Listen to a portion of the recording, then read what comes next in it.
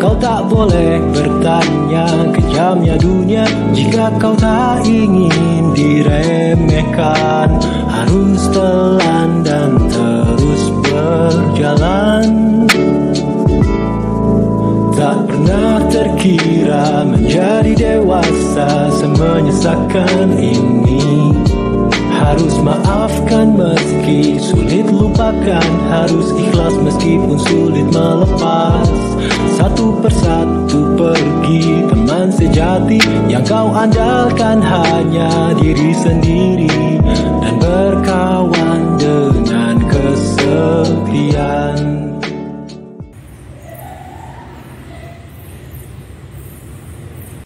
Mohon maaf Pak, saya mau bertanya, bagaimana sih cara menjadi host yang baik? Terima kasih. Pertanyaan yang sangat bagus. Jadi untuk menjadi host yang baik itu, yang pertama itu harus percaya diri. Dan yang kedua, itu harus sopan. Karena itu mencerminkan attitude kita. Baik, terima kasih Pak atas penjelasannya.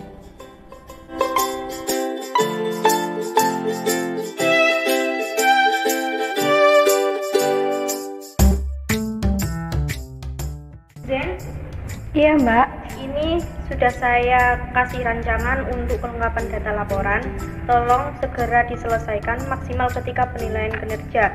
Jadi, laporan ini kan salah satu dari instrumen penilaian saya ya. Jadi, tolong ya. iya mbak.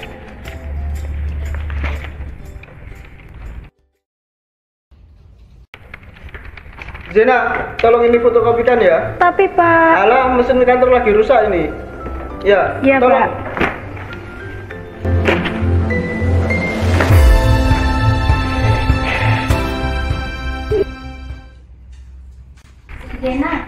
Iya mbak.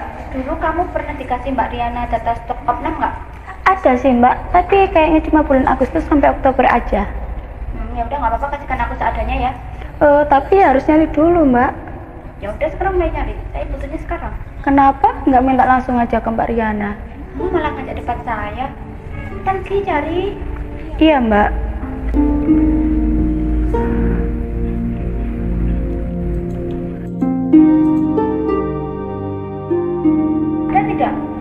Ini mbak ada gimana? Mbak Tara mau dikirim langsung apa lewat WhatsApp aja? Ya sekalian print out aja. Lalu kasih ke meja saya.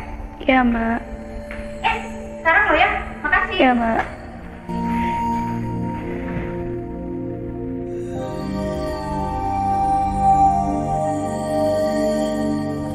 Baik anak-anak sekalian, eh, Bapak kira cukup untuk pertemuan kuliah sore hari ini. Sampai jumpa di kuliah selanjutnya. Bapak akhiri. Wassalamualaikum warahmatullahi wabarakatuh.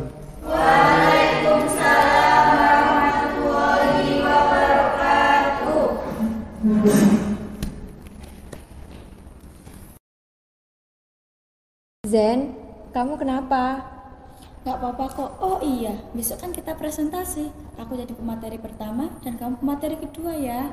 Oke, terus dia ngapain? Aku, aku jadi moderator dan notulis dong. Double job kan? Mimpi dan ambisi dihabisi realita Oh bawa aku ke masa dulu Zena masih sibuk ya? Sudah mau selesai kok, Bu. Bisa bantuin ibu sebentar nyiapin kotak nasi buat besok?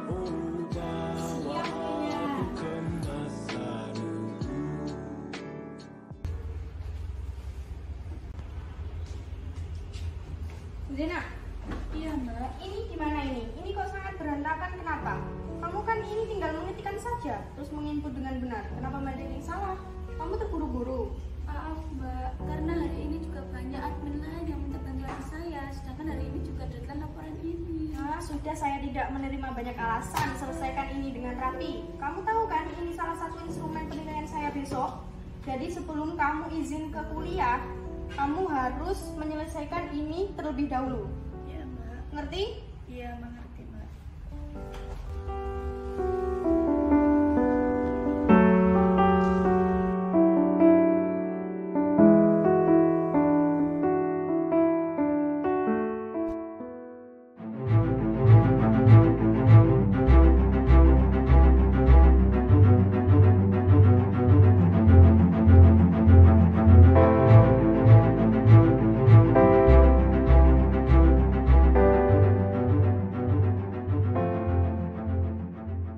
Anak-anak, eh, Bapak kira cukup ya untuk hari ini sampai bertemu di kuliah selanjutnya. Bapak akhiri, wassalamualaikum warahmatullahi wabarakatuh. Waalaikumsalam warahmatullahi wabarakatuh.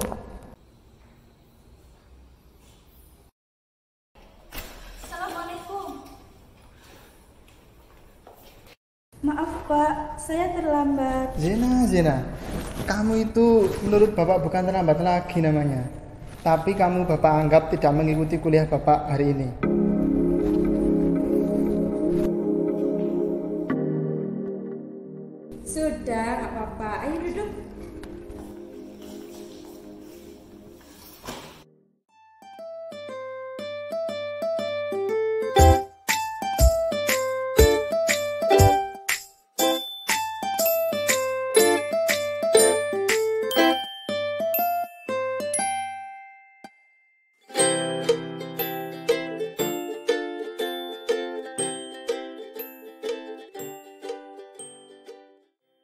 Baik, sekian diskusi serta presentasi kita hari ini. Saya atas nama moderator meminta maaf yang sebesar-besarnya. Saya akhiri. Wassalamualaikum warahmatullahi wabarakatuh.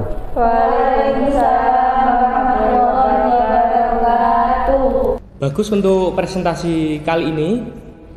Eh, materi yang disampaikan sudah sangat tepat. Beri tepuk tangan untuk kelompok 4. Dan jangan lupa ya tugas resum untuk besok. Jadi untuk hari ini Bapak akhiri. Wassalamualaikum warahmatullahi wabarakatuh.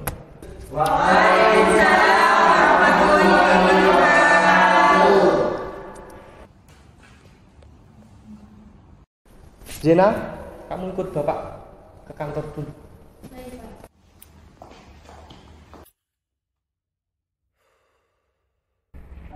Zena, saya selaku kaprodi kamu perlu menyampaikan ini kepada kamu. Ada beberapa laporan dari dosen bahwa akhir-akhir ini kamu tidak profesional dalam perkuliahan. Maaf Pak. Zena, kamu itu mahasiswi cerdas. Kamu juga penerima beasiswa. Bapak minta tolong pada kamu, berhati-hatilah menggunakan waktu, terutama kedisiplinan. Sangat disayangkan Zena jika beasiswa kamu itu dicabut. Iya Pak, saya minta maaf. Ku terjebak sendirian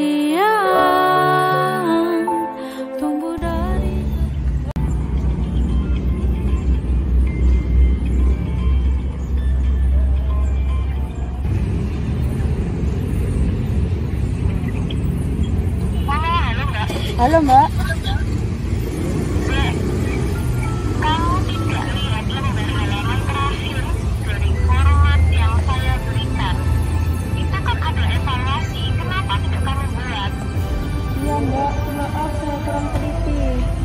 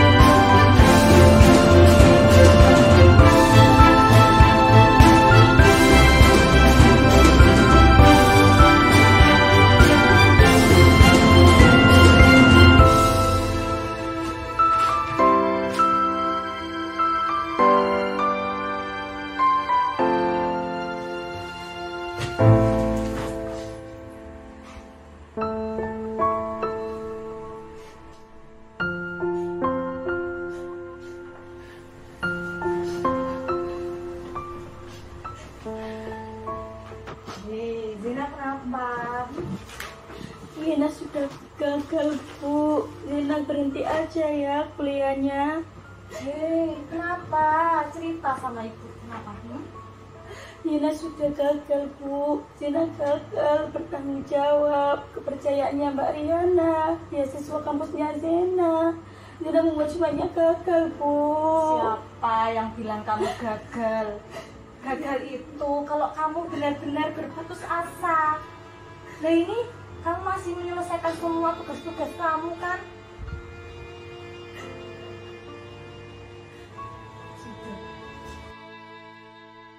Tapi semua yang kamu bilang ini sebagai kegagalan karena pada kenyataannya ini perjuangan.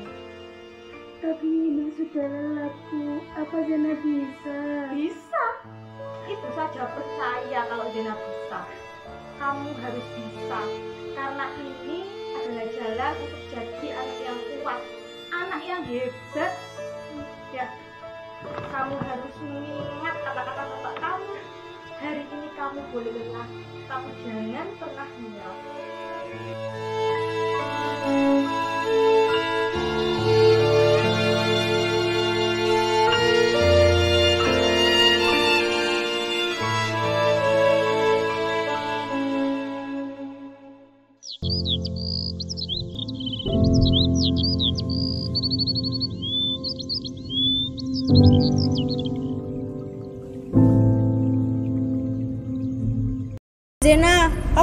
Sini dulu ya. Kamu boleh izin ke kampus kalau penilaian saya sudah selesai ya. iya mbak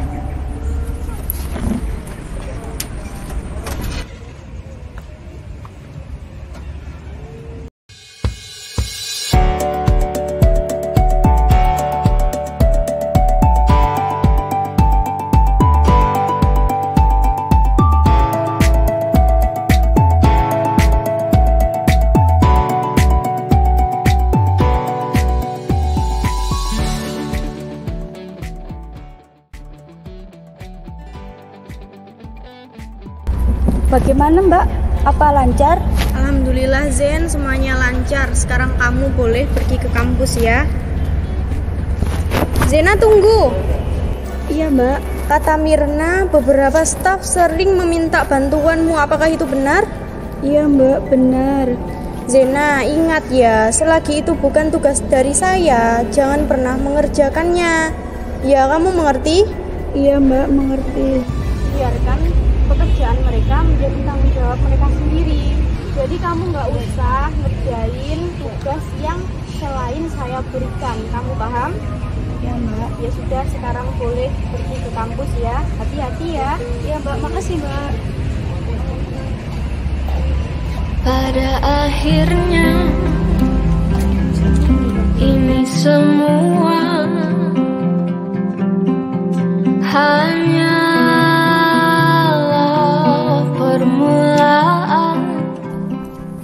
mahasiswa sekalian, jadi Bapak sudah menilai jurnal yang kalian buat seminggu yang lalu ya. E, menurut Bapak semuanya cukup e, memuaskan, tapi ada satu jurnal yang paling menarik menurut Bapak, yaitu jurnal milik Alara Zena.